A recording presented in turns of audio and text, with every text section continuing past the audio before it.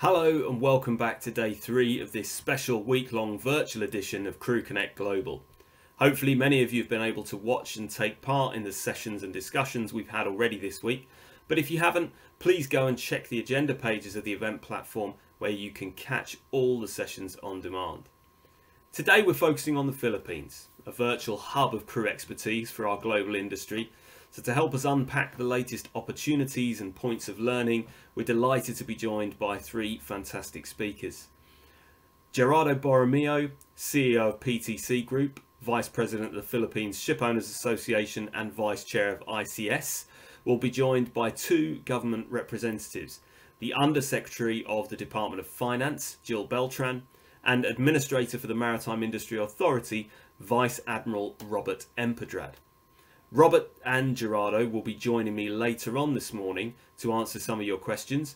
So please do use the Q&A and chat functions on the right hand side of your screen to send your questions in and we'll do our best to answer as many as possible.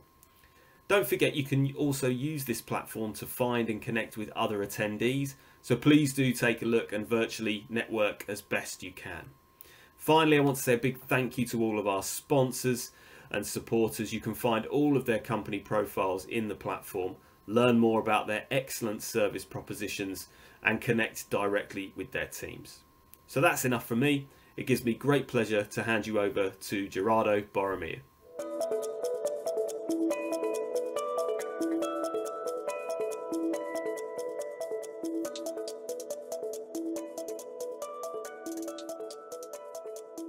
Good morning and good afternoon to our Crew Connect audience. A warm hello from the Philippines.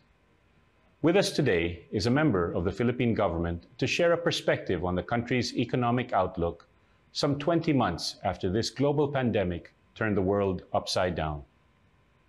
Our speaker has had an illustrious career in the civil service and is today the chief economist of the Department of Finance, where he is undersecretary. Without a doubt, this pandemic has had a significant impact globally and certainly locally. But hope springs eternal, particularly from this side of the ocean, home to over 400,000 of the world's global maritime professionals.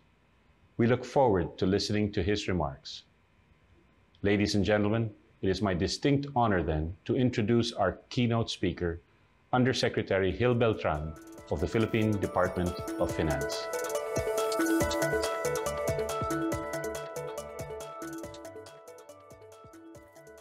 On behalf of Philippine Finance Secretary Carlos G. Dominguez, allow me to congratulate the organizers of the Crew Connect Global Conference, Informa Maritime Events, for putting up such an important event. In my career with the Philippine Finance Department, spanning over four decades, events like this serve as platforms to exchange ideas, share experiences, discuss issues with stakeholders, and start and sustain the ball rolling for game-changing reforms. Just two weeks ago, our national income accounts were released, and we were pleasantly surprised that our economy grew by 7.1% in the third quarter of the year, significantly higher than the median private sector outlook of 4.7%. Quarter on quarter, the economy grew at a respectable rate of 3.8%, reversing the 1.4% decline in the prior quarter. That the economy grew much more than expected despite the imposition of stricter quarantine measures suggests that the Philippines is already learning how to live with the virus. We are already essentially shifting away from a risk avoidance stance a risk management posture. For one, our quarantine measures are already much more localized and granular as compared to the blanket lockdown we imposed last year. Also, the arrival of much needed vaccines is providing us individual protection to the population, which is paving the way for the gradual reopening of the economy. Our bout with the virus is in many ways like our running the gauntlet with the various crises that the Philippines underwent. My experience in the first three decades of public services was like jumping from one frying pan to another. Fiscal crisis in the early 1980s, followed by a political upheaval, power crisis and the eruption of Mount Pinatubo in the early 1990s, followed by the Asian financial crisis, the fiscal distress in the early 2000s, followed by the global financial crisis, or GFC. But we were able to escape from the GFC relatively unscathed, sprightly recover from it, and roared our way to growth of above 6% until COVID-19 spoiled the party. But economic managers were not totally unprepared for that ongoing health crisis. We have come a long way until before the crisis. In the late 1980s, we implemented fiscal reforms and privatized many inefficient government corporations in the 1990s. Essentially, government backtracked on being an athlete in the economy. Instead, government would play the role of a disinterested referee, provider of a level playing field, promoter of competition, one that maintains macroeconomic stability, a partner for infrastructure development, and a champion for inclusive development. More recently, the administration of President Duterte also introduced packages of tax reforms to bankroll infrastructure development and social services, such as education and universal health care. What distinguishes these recent fiscal reforms from previous reforms is that for us in the latter, we're meant to address crisis or avert impending crisis. The former focuses on equity and efficiency issues, that is, to make the economy more competitive and inclusive. In other words, it's not all about raising cash, unlike in the previous decades where macroeconomic instability was the clear and present danger. It's also about cutting red tape, clearing uncertainties in the tax law, and being more strategic in the granting of fiscal incentives in our quest for inclusive and sustainable resource mobilization. No sooner did we address taxation issues surrounding real estate investment trusts than the first applicant filed for an initial public offering, or IPO. Currently, there are five REITs in the local boards already, all of them listing in the stock exchange during the pandemic. When the pandemic struck, we were already busy with our ambitious infrastructure program an established conditional cash transfer program for the poor and universal healthcare program, partly financed of course by our tax reforms. Plus, we have the fiscal space with which to help affected individuals partially recover lost incomes through unconditional cash transfers. With the necessary programs and reforms in place, we did not really have to go back to the drawing board to drastically overhaul our plans for recovery.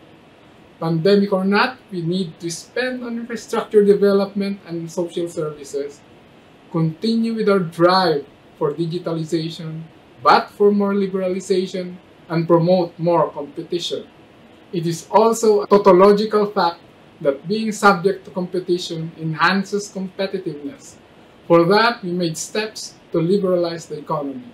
For instance, we have already opened banking and power generation to 100% foreign ownership.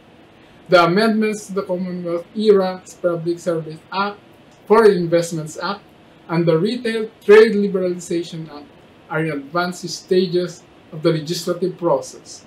Maintaining and enhancing competitiveness is an important ingredient if we are to survive in a very dynamic economy.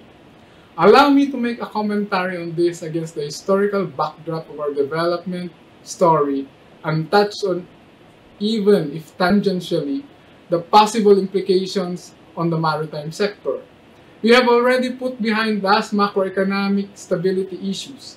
With it, we have increased our focus on efficiency and equity concerns and started looking at the bigger picture of resource mobilization rather than narrowly on revenue collection.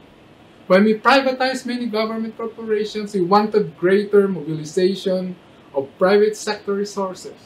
It is not, however, enough for government to simply let go of the operations for the private sector to take on. We need to have an enabling environment for it.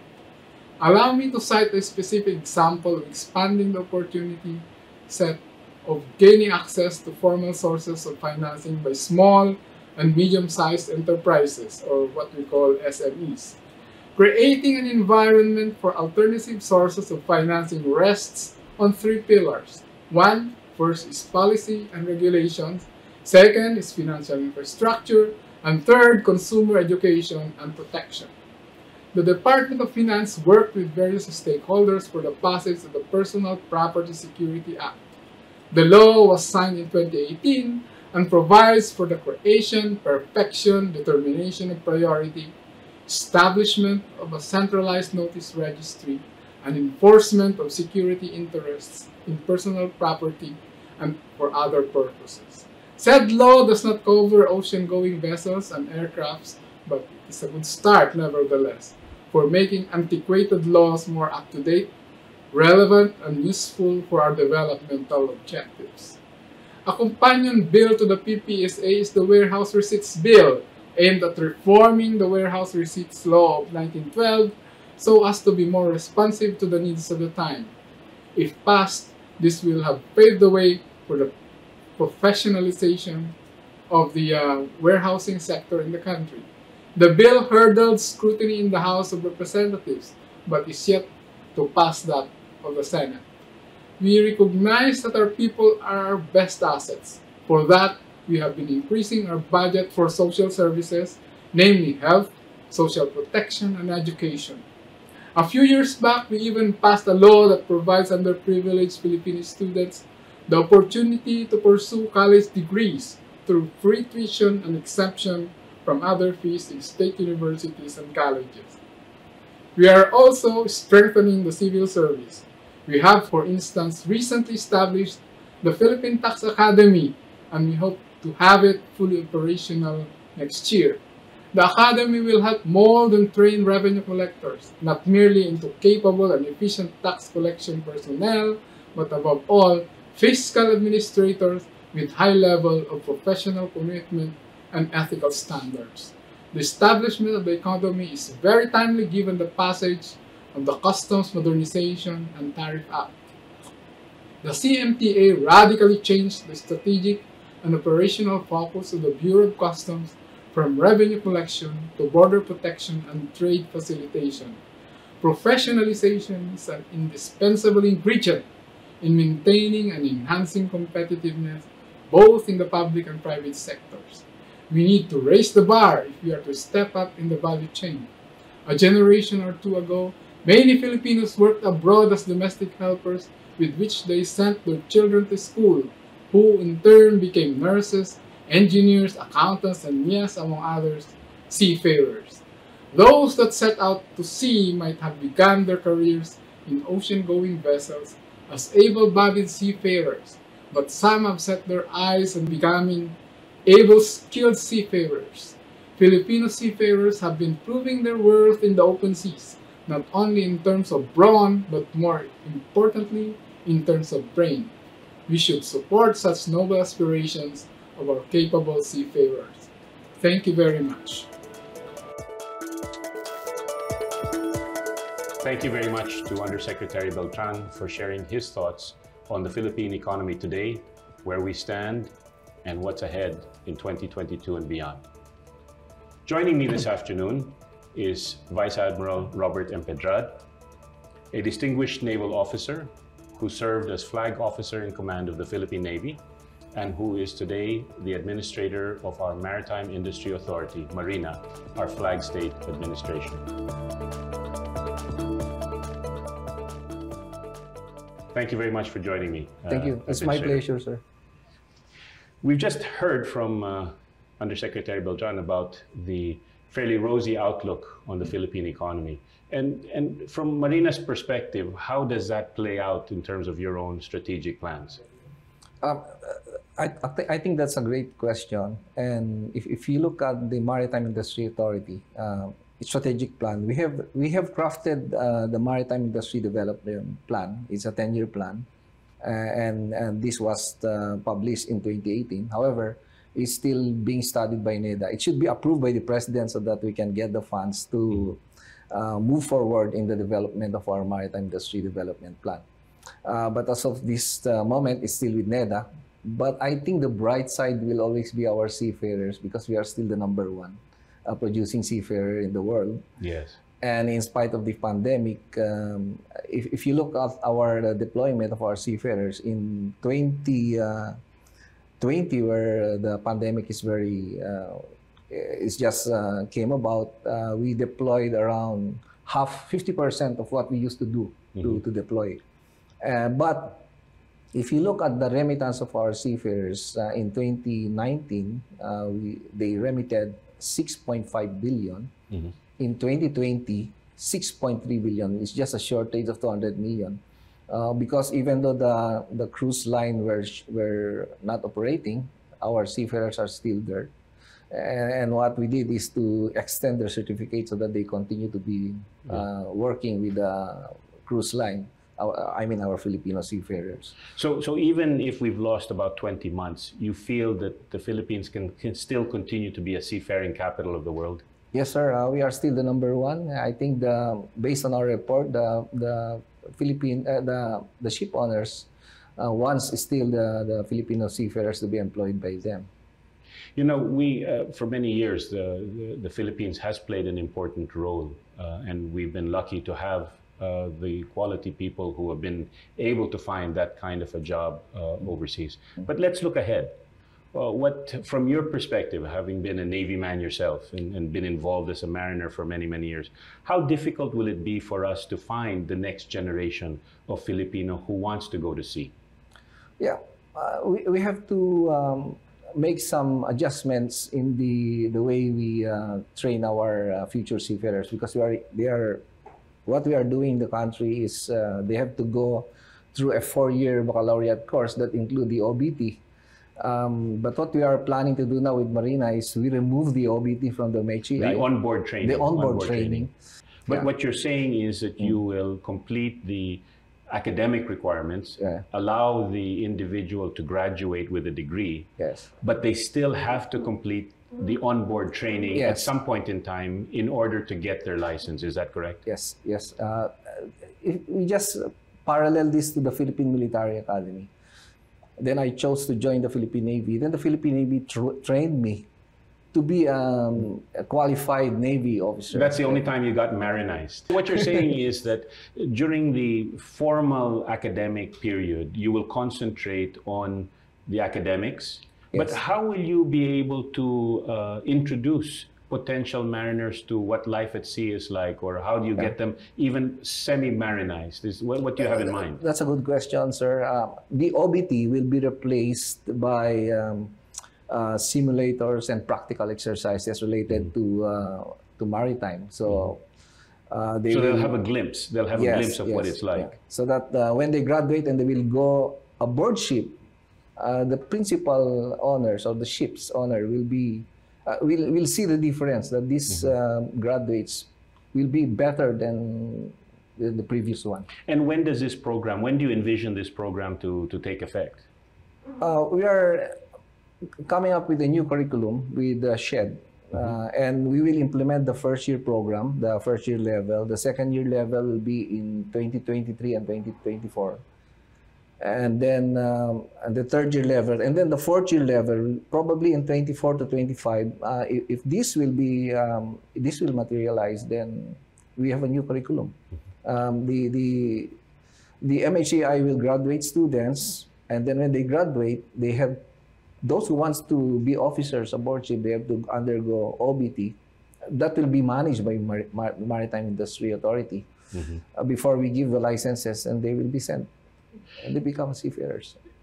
Undersecretary Beltran talked about the need to develop able-skilled Yeah. seafarers or maritime professionals. How difficult do you think it will be for us to create the, the able-skilled individual as opposed to the able-bodied individual of before? Well, I don't think it's difficult, sir, because we have um, um, competent maritime training institution to do that. When they graduate, the marina will will uh, focus on the competence of our seafarers. Then we will deal with the maritime training institution. That's where we will focus. And I think there's no we don't have to reinvent the wheel because we have we have good maritime training institution that can uh, help Marina Mm-hmm. to develop competent seafarers. And this recalibration, if you will, of the academic program, Yes. how does that fit into the overall STCW uh, convention? Yeah, we are still compliant to STCW convention because uh, what makes us involved in the baccalaureate degree is the OBT. So when you remove the OBT from the uh, baccalaureate degree, um, then Marina can focus on on on the seafarers because they will become only seafarers when they are given the licenses. So Marina will be deeply involved in the conduct of OBT So what we're really saying is that the academic institutions will concentrate on developing and delivering an academic program. Yes. You will take out the requirement of onboard training from the educational institutions, but it remains a requirement in Yes. order to get the license. Yes. And that 12 month period, or in some cases it might even be 18 months, that is where Marina will focus to ensure that your the output, if you will, the outcome of academic in, uh, education can really be shown and demonstrated. And, and we are um, confident that we produce a better and competent uh, Filipino seafarers. Well, I'm sure that that will be an interesting topic that will be taken up in various fora, and maybe in the question and answer period later. Uh, I'm sure some people would like to to uh, maybe probe a little bit more about that. But but how about the student themselves? How what can Marina do, or is it in Marina's plan anywhere?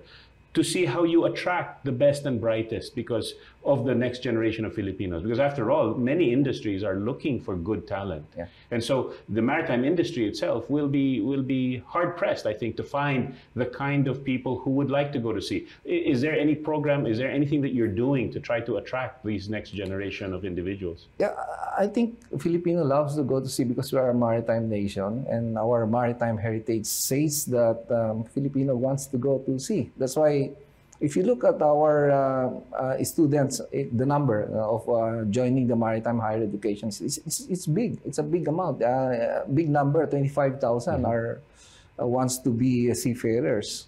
But I think um, we don't have to uh, to ask them to join the uh, the maritime, uh, the seafaring industry because um, it's in our blood. We love the, the sea. I think the people love, the Filipino people love to go to sea.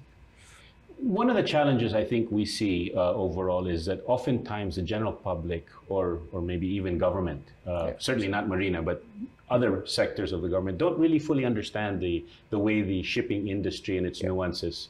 Uh, what has Marina planned in its in its uh, strategic view on on how to get the local environment more attuned to the importance of the maritime industry? Yeah, you know, sir, uh, we are a maritime nation. We have 7,600 islands.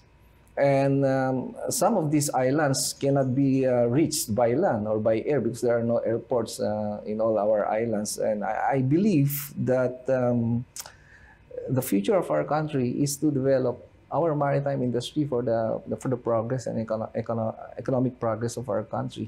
When when um, uh, goods are moving from one island to the other in a quickest possible way by ships and by putting up ports, then I think it will be good for the economy and, and for our country because uh, goods uh, will reach the, the remotest place of our country. I think we have to develop our uh, infrastructure, the efficiency of our ports.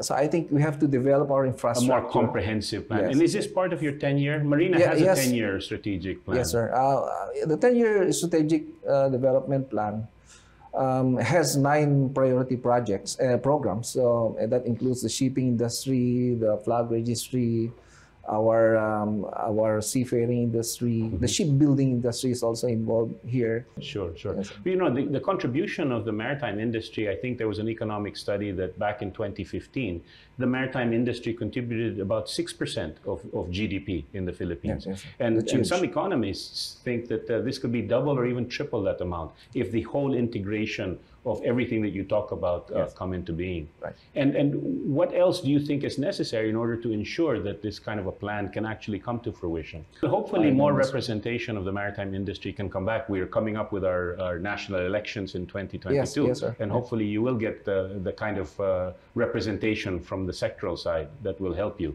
uh, Yes. in, in moving this program forward. Sure enough, forward. sir.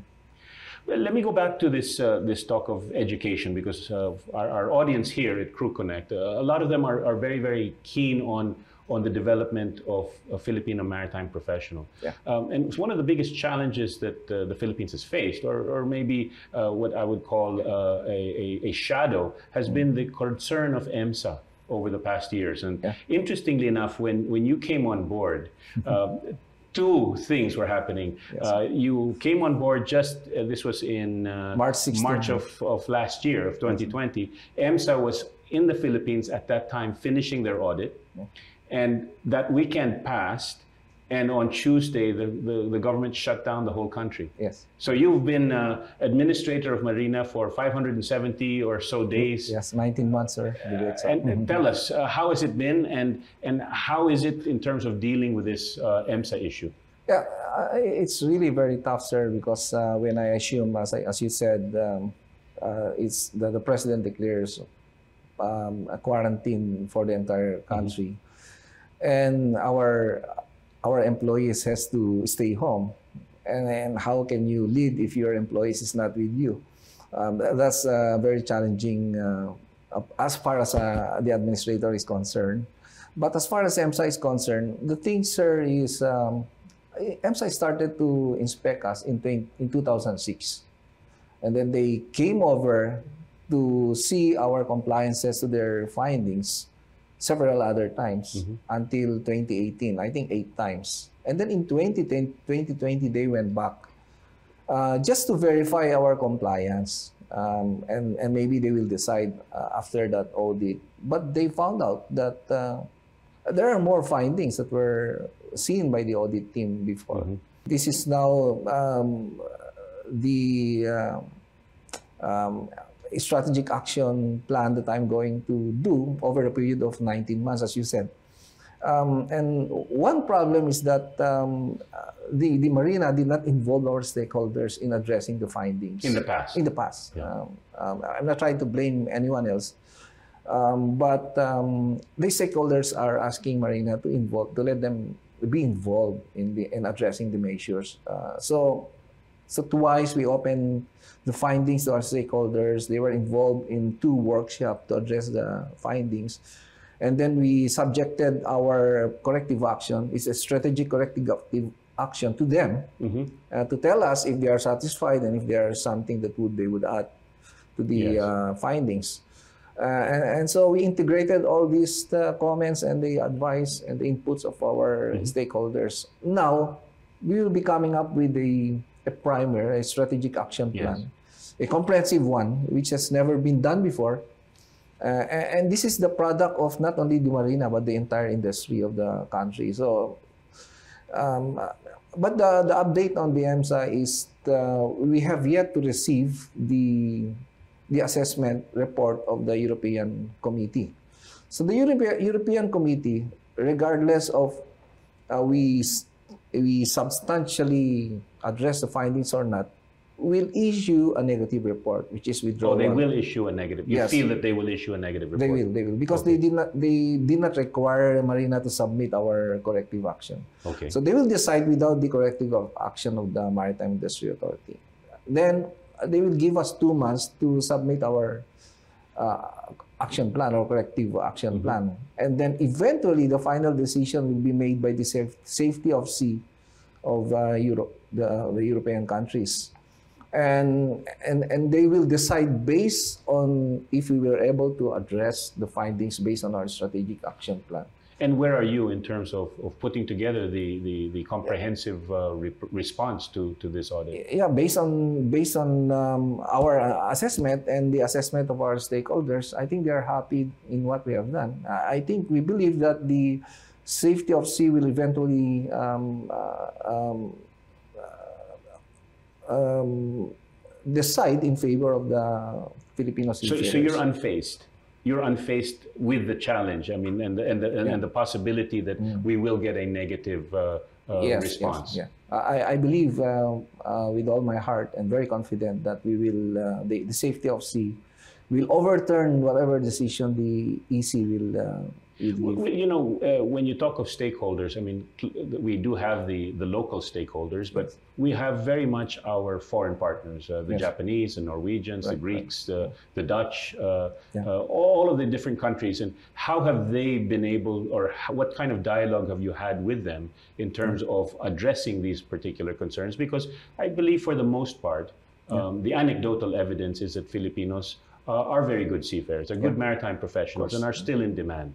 Yeah. Uh, but yet, because we uh, operate in an ISO environment, then it's very clear that, that all of these this, this documentary evidence needs to be put in place. Yeah. But so how, how has it been in terms of dealing and discussing with our with our partners, our, our international partners, particularly from Europe? We have someone in uh, Norway, uh, Per Arns. I know you you, you know Pe- Per Arns. We um, we hire him as our advisor. So he continuously give us uh, advice on how to deal with EMSA. He's uh, an expert uh, by his own right. And um, we, we continue to engage the IMO. Whatever we are doing as far as the EMSA is concerned, we involve the IMO. In fact, in the past um, in the past six months, uh, because one of the findings is uh, our audit personnel are not capable, are Yes. not capacitated. So we requested IMO, experts from IMO, to do training to our audit team. So the, the IMO already have done two training um, on, on the on the assessment and and on the the, the entire um, uh, the maritime industry aspect. And then so we did that already. And in in this month, uh, the IMO will be coming back to to train the trainers. They are they are saying train the trainers Yes. on the on the curriculum development. So we are we are involving the IMO and our um, and we keep on and we also involve ourselves with uh, our counterparts in the maritime industry. For example, in Singapore, Indonesia, uh, we, I've I've involved. I have been meeting with them as also as far as vaccination of seafarers and uh, and other engagement that involves our compliance to the STCW convention. And uh, when you think about all of that, the responsibility you have as administrator to ensure that the compliance, the studies, and, and the responses are given, you feel that we will ultimately still be able to, to retain the, a, a positive response. Yes, sir. I, I- believe the safety of sea will overturn the decision of the EC. And, and why is that? What, what is it that you think? Uh, what, what will be the, the overriding reason why they may overturn a possible negative finding? um, because of uh, that, we how we comprehensively uh, address the findings. Um, we created the task group and look into the root cause analysis. This was never done before. Uh, and, and look at systems and procedures and quality measure, uh, qual- quality procedures.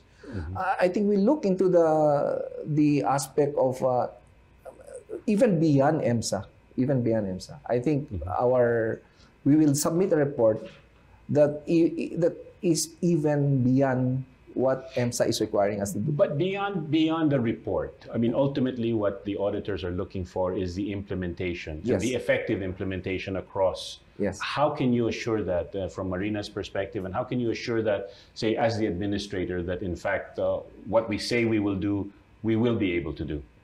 Um, yes, indeed, sir. Because uh, the the report will also include our um, um, factual evidence if if this has been implemented. So after, say, almost 14 years of a very challenging Yes. discussion with EMSA, in the last 19 months, you feel you've been able to take the bull by the horns Yes. and now can come up with a comprehensive response which will satisfy EMSA.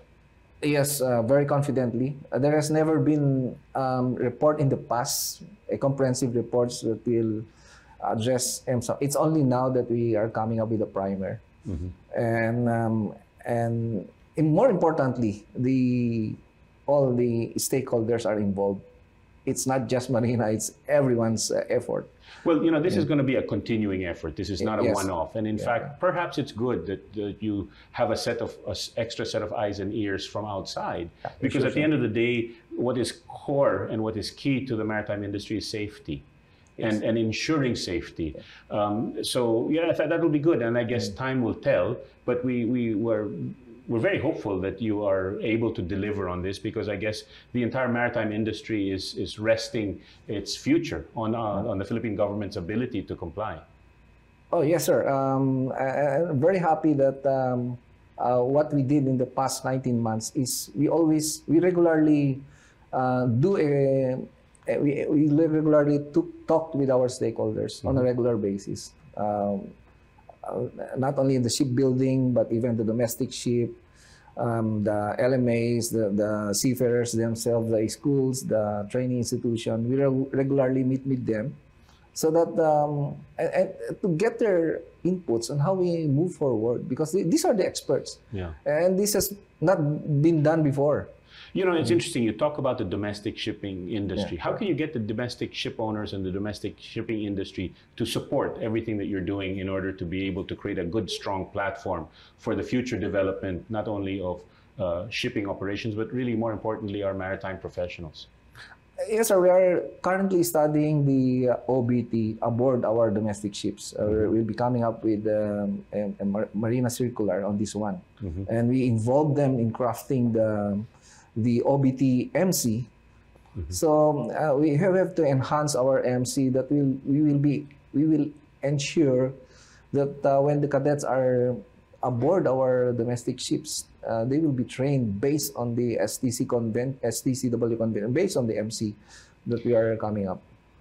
One of the things that uh, will be very important is the ability to continue to carry on and follow through. Right. Uh, we're coming up with uh, our national elections in 2022. What can Marina do to sort of institutionalize a lot of the changes that you feel are very important so that as the administration changes uh, in 2022 and beyond, that we can still keep many of the good things that you've Yeah. been able to uh, get started so far? Yeah, that's a great question, sir. Uh, first, uh, the MIDP is here. I, I, I would like it to be approved by the president. The MIDP is Is the, the Maritime Industry Development Plan? Yes. Uh, the, this is a 10-year plan. yes.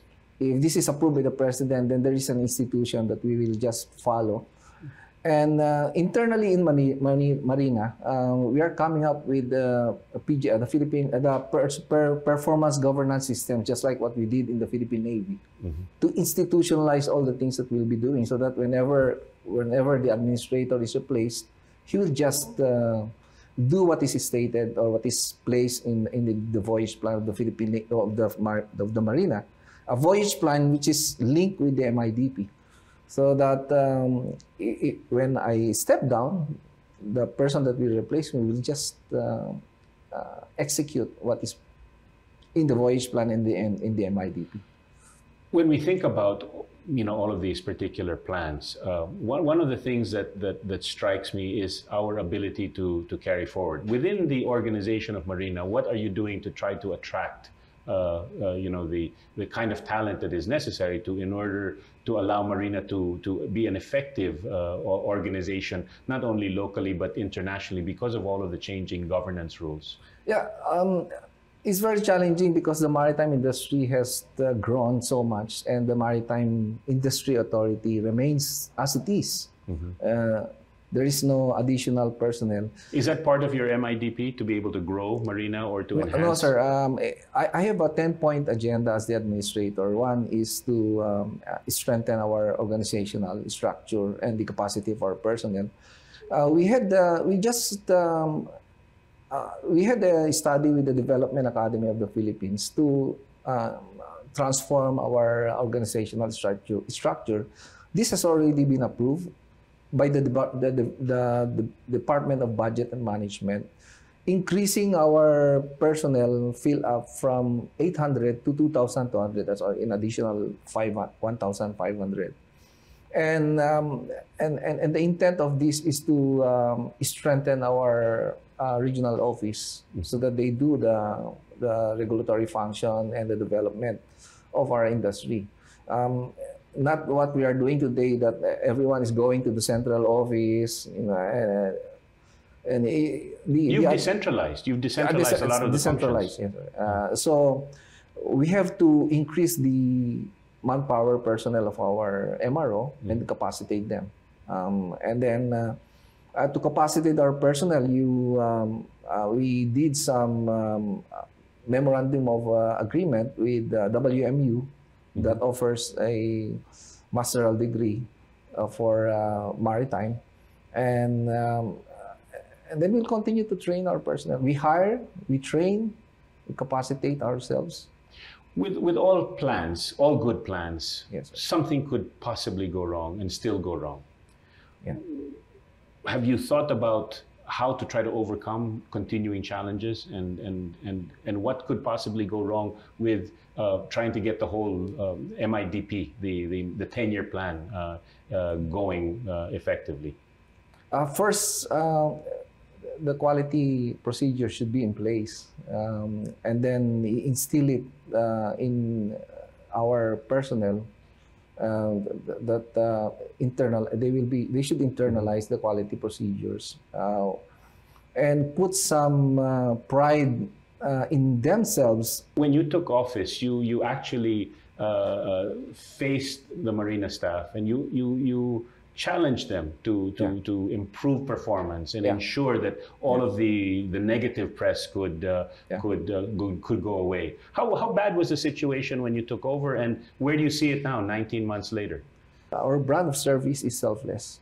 Mhm. and um, but, but I, I I don't know if you are a religious person, but uh, I always uh, quote uh, a verse from verse from the Bible whenever I talk to them uh, to encourage them to do the right thing, and to instill the, with them the discipline and professionalism uh, in doing their job. And I think uh, they are listening to me. They are following my lead, and I'm very happy. Well, well, congratulations, Administrator. I think that's really good to be able to try to instill discipline. Um, and you know, with an ever-changing situation, it's always difficult. So, Yes. so if you can get into the heart and soul of people Yeah. and and give them that kind of uh, mindset uh, to be service-oriented, that's really what what we all are looking for. Yeah.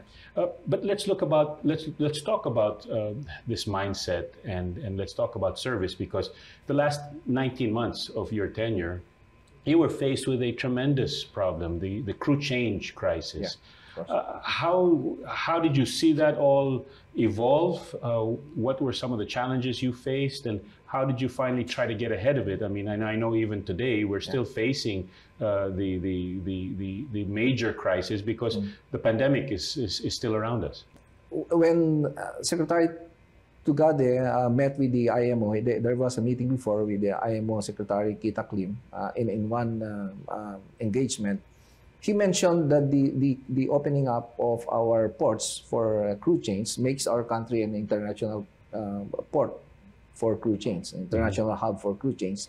And he even mentioned to the Secretary uh, General that uh, the ports will stay, is- even in a post-pandemic uh, yes. uh, situation, the ports will remain to be a crew chains ports uh, for uh, for all seafarers or uh, ships that want to do crew change. So, so we open up our, our ports, and that's a good uh, move as far as our, our country is concerned.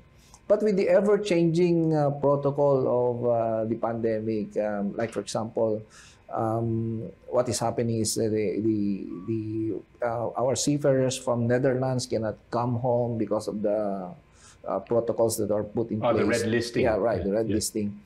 I, think there is an a, a you know a, a venue wherein uh, we can open up to our um, uh, to our secretary of the Department of Transportation because he's the one in charge with the uh, crew change of the Filipino seafarers, the deployment and employment, and, and then. Uh, and then he he can open this up to the IATF so that um, um, whenever we come up with protocols, uh, they will exempt our seafarers from the ever-changing protocol because Yes. uh, if you do not exempt our seafarers, then it's very expensive to maintain seafarers because uh, the ship owners are complaining they cannot bring down our seafarers because they will stay in a hotel and very expensive uh, to manage them. So I, I think uh, to um, be able to maintain our being number one, um, a seafaring producing country, we have to be more strategic in coming up with protocols to exempt our. And, and maybe Seafarers. once these protocols are established, to try to build some consistency in Yes. their applications, even as the environmental situation changes. Yeah. And, and hopefully you can continue to carry the flag for Yeah. not only the Philippine industry, but really the whole global industry who is reliant Yes. on Filipinos is really in need of ensuring that the continuous facilitated movement of Filipinos, uh, Filipino seafarers can take place. Uh, You're right. You're right, sir. Uh, so uh, it's just a matter of um, um, telling or remi- reminding our um, um, um, the IATF that uh, when we come up with the, uh, uh, instilling them the the need to exempt our uh, Filipino seafarers uh, with these ever-changing protocols. I, I know it's difficult, but I hope that you can continue to carry that Yeah, uh, yeah. that message because if there's anything, you know, you talk about stakeholders, and I believe we are all in one. Yeah. That the during this pandemic, what really allowed the global economy to continue Yeah. to evolve was really the fact that the shipping industry continued to operate. Yeah. And if it weren't for the sacrifice of, of of seafarers all over the world uh, Yes. to continue to remain on duty and on board, Yeah. uh, I think we would have had a more serious situation, economically speaking. So anything that Marina can do in this regard would, I'm sure, would be would be um, well appreciated. And I'm sure maybe in the question and answer period that will follow, some questions will probably be posed on that, and maybe you can continue to to carry, as I said, the flag Yeah. uh, for Yes, for the industry. And, and if I may add, sir, uh, when we open up our ports for crew changes, lots of uh, um, uh, ships came over to the Philippines to do crew changes, and that allows us to um, um, to bring home our uh, extended, overextended um, seafarers aboard uh, their ship to come home to their family. Uh, and when the ships are coming here, of course, they will say, uh, "Why, why don't we look for other seafarers when we Sure. have the Filipino Sure, seafarers?" sure. So it, it, it helps. It yes, helps, yes, yeah. and and I think if I'm not mistaken, the, the your efforts in terms of creating these green lane protocols was also helpful to foreign seafarers. Mm-hmm. Yes, because yes. it allowed any maritime professional Yeah. to be able to move. we were the one to convince IATF to uh, Give them the highest priority. Yeah, yes, uh, uh, so, so that's happened, but the LGU does not understand. So we came up with the T- TWG to help in the vaccination of the seafarers and and to strategically communicate to LGUs that hey, you have to Mm-hmm. prioritize our um, uh, our seafarers. And that um, did wonders. The collaboration again, the collaboration between stakeholders and Marina.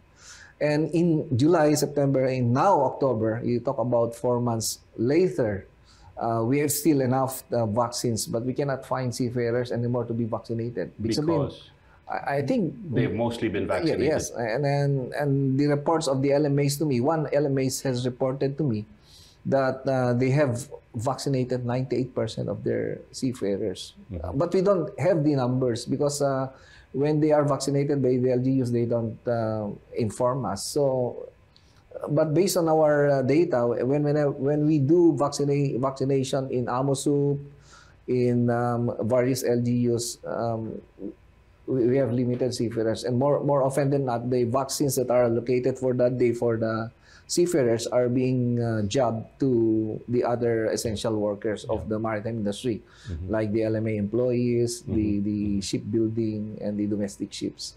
Well, it's, it's it's it's good that the vaccines are here. We now have Yeah. a, a lot of uh, supply in the Philippines, Yes. and we need to continue to push this. In fact, the government is now talking about booster shots. Yes, Uh, yes. How about uh, foreign uh, uh, seafarers, foreign maritime professionals coming through? Would they be eligible to receive a vaccine if requested? I I think there's no reason why we cannot allow that, sir. Um, but I, I'll, I'll, I'll discuss this with um, the Department of Health. I, I think there's no problem. We have enough. Uh, and telling them that ours, our Filipino sea, seafarers are also vaccinated by uh, Other countries. other countries when they are Yes. aboard their ships. Yes, yes. So, So, so let me ask you uh, this, Administrator. Uh, what have you learned from the last 19 months when it comes to uh, these 99-year events, which are never really expected? Because you know you have to look at business continuity planning. I know you. I know you have a 10-year uh, in uh, strategic plan. Uh, have you built into that uh, business continuity so that if ever a 99-year event happens again, Yeah, right. we will be better prepared? yeah. Uh, yes, sir. Um, you know, I realized when I assumed as the administrator after 19 months, or even a year earlier, I realized the importance of the maritime industry in the progress of our country, the future of our country. And um, I, I think uh, we failed to um, uh, maybe uh, educate or tell our um, leadership, our, our, you know, our political leaders, how important the maritime industry in the progress of our country. There is no progressive, you can find any progressive country that has weak maritime industry. I believe uh, with all my heart that if we have a progressive uh, maritime industry, it will make our country very progressive. So let me go back to that 10 year strategic plan. Yes, yes. Where in there uh, are the elements to allow for a more progressive uh, maritime industry and, and um, uh, a, a, a vision which you can say the blue economy, the blue Philippines? Right, right. Yeah. Eh, There are nine priority programs of the MIDP, and it um, pertains some studies on how to develop the trade, how to modernize our shipbuilding capability, how to make our domestic ships more competitive, how to make our um, seafarers more competitive. Uh, there are programs in each of the priority programs. There are 9 in each of the priority program, and there has to be a budget to uh, for the continuing uh, study uh, as stipulated in the MIDP for us to move forward. Uh, and I believe um, this is a, the MIDP is a product of the whole maritime industry. Um, even the other government uh, sectors were involved in the crafting of the MIDP. So um, if, if we just execute what is stipulated in the MIDP, uh, I think uh, there is no reason for us not to progress in our industry. Do you, do you think that in the remaining term of uh, uh, President Duterte that you will be able to get the 10 year plan approved? Yes, yes, I, I will do this. And you have the support of, of the Department of Transportation for this? Yes, uh, actually, sir, uh, the the the secretary has uh, um, supported the maritime industry development plan, but it's being studied by NEDA before it will be approved by the president, and we are following that up with Marina, and hopefully, uh, before the end of the president, that is that's that is already been approved. Okay. Well, that that will also be very very good. Yeah. Um, do you have any message for our audience today? Uh, there are various stakeholders here, and and and and what kind of a message would you like to share with them, given the fact that on the one hand, the anecdotal evidence uh, of of the quality of maritime professionals from the Philippines is very high. Uh, but the, of course, the environment has always proven to be challenging. You talk about the EMSA issue. You talk about bottlenecks in, in the way the system ha- has been set up. But you have done a lot, and you've done wonders to be able to try to streamline all of that, and and, and all under a time when um, not everybody was at the office. I mean, it was a lot of it was work right, right. from uh, remote locations. So, so what what message would you like to share uh, with our audience today to to continue to encourage them uh, to look at the Philippines as a seafaring capital, Yeah. to look at the Filipinos as the seafarer of choice, uh, notwithstanding these challenges. Uh, um, Administrator, please. Uh, Uh, there is a report from BIMCO that says uh, they need uh, we will be lacking 30 30,000 something officers. officers um, in the future. Um, but uh, the Filipino seafarers are here. They are competent and they are uh, well prepared. They are ready to go back to the sea. And uh, if you lack um, seafarers, you come here to the Philippines and we'll provide you with good and uh, quality, capable, competent Filipino seafarers, uh, which we always um, uh, we were always number one uh, on that aspect. But how about Marina? How else can Marina present itself to, to, to say that you're open, not only open for business, but you are there to try to facilitate the way business is carried out and will be carried out? Yeah, yes, sir. It's important that we change some laws to make our um, uh, industry uh, moving forward. And uh, the other one is we will continue to engage and collaborate with our stakeholders. Uh, we will continue to meet with them regularly and maybe ask them what should be done for our industry to move forward. I, I think uh, that's the one of the uh, salient uh, features of my administration is when we get some insight and experts opinion, expert um, uh, advice from our stakeholders. That you act on it. Yes, we and then we act on it. And then the next time that we meet again with them regularly, they even follow up what we have done. And and Do you, do you, do you welcome um, visitors from other countries to come and exchange notes with you? Yes, Uh, sir. yeah. Sure, sure. Yeah, yeah. I, I will be going to uh, London for our candidature Yes. um, uh, in December, and I will be meeting with my counterparts. Yeah, maybe that's a good uh, opportunity for you to reinforce, um, especially all the work that you've done to to address uh, the concerns raised by EMSA. Because at the end of the day, that is perhaps the most pressing of, of, of, of the challenges. Yes, sir, if I may add, uh, I would like to assure our uh, audience here that uh, when we submit our strategic action with EMSA, uh, we will we will uh, get a favorable response. And, and we will continue not only to address the finding of EMSA, to raise the standards of what we are doing to be compliant always to the STCW convention. Before we end, um, Administrator, let me just go back to something that uh, Undersecretary Beltran talked about, which is uh, before the Philippines entered this pandemic, it was lucky enough that its balance sheet was strong. Yes. It had sufficient cash, it had sufficient reserves. Uh, never before in, in our country's history have we had as high a level, which last month reached over $108 billion in, in reserves. So the, the, the position, the fiscal position coming in was, was good, which allowed them the leeway to stimulate uh, uh, the economy during the darkest moments of the last 20 months. But his message was the government has done what it can. It's now up to the line agencies like Marina and the private sector to do what it can to be able to create uh, uh, the next the next wave of growth. Right. Uh, how would you like to address that uh, to our audience as well, in, in terms of what we need to do and, and, to, and to, to make that a really strong rallying point? yes, uh, of course, um, we continue to be the number one producers of seafarers. And the other one is uh, how do we develop our domestic ships? Um, uh, you know, there, there, are, there are so many things to be done, um, like um, improving the efficiency of uh, the turnover uh, of ships when they come here. How long can they um, up, up unload their Uh, so the port infrastructure. Yeah, the port infrastructure and the connectivity to the land. Um, uh, so and then the efficiency of the ports. Uh, we need to to connect our islands through ports and ships, making sure that uh, we have ships that will uh, um, uh, uh, serve the, routes that uh, we endeavor, uh, we, we thought to be important to our um, trade. Um, and so if we connect our islands with ships and ports, and the goods can travel quickly.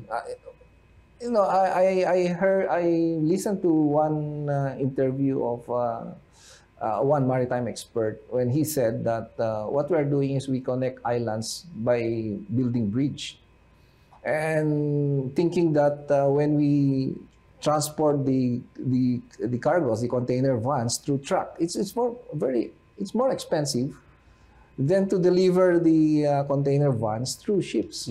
So what we are doing is we connect, um, we try to connect our islands through building uh, uh, bridge. The nautical highways. Yes, instead of um, building ports, make it efficient so that ships can use it uh, for uh, the speedy movement of our cargo. That will help in our economy.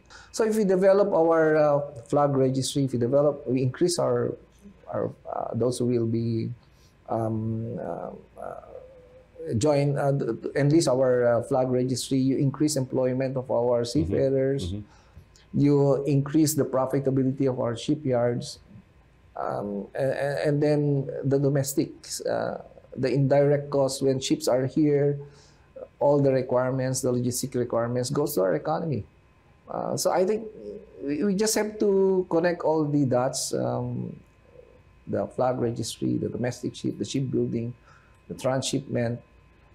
It's all there. It's all there. It- it- It's all in our uh, maritime industry The, the, the maritime industry is definitely an, an industry that can enable so much. Yes. And, and Yeah. as we like to think, it, it moves the world. Yeah. And uh, we're also grateful to all of our maritime professionals, particularly Filipino maritime professionals, for their sacrifice, their service, Mm. Yes. which effectively moves the ships. And if you move the ships, you move the economy. If you move the economy, you are moving the world. So uh, I'd like to thank you, uh, Yes, sir. Administrator, for joining me this afternoon. It's been a very, very interesting and insightful discussion. You've been very frank and and and and uh, uh, clear about the different challenges that you faced. Uh, you are meeting the EMSA issue head on, and as you have told me on uh, several of the discussion points, that you're very confident that, notwithstanding the challenges, that we will ultimately get a favorable response. And, Yeah. and I think having confidence is very, very important, and projecting uh, this kind of confidence is also important to our audience. Um, the last 19 months have been very, very difficult. I mean, I, I could never have imagined that we would have lived through all of this. Uh, uh, knock on wood, we're still here, going strong. And, and, thank you very much for your service.